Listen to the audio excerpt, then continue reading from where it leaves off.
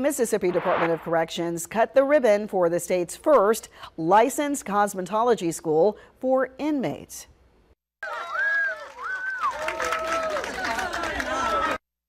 The State Board of Cosmetology traveled to Greenwood's Delta Correctional Facility to cut the ribbon after spending a year helping organize an instructional program for female inmates there.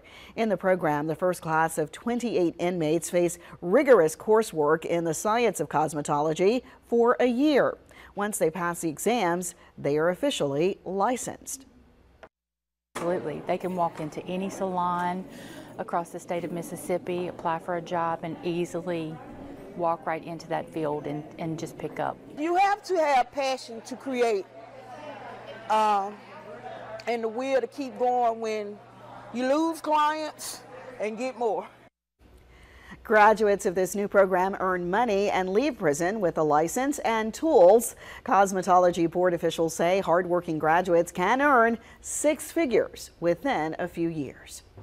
William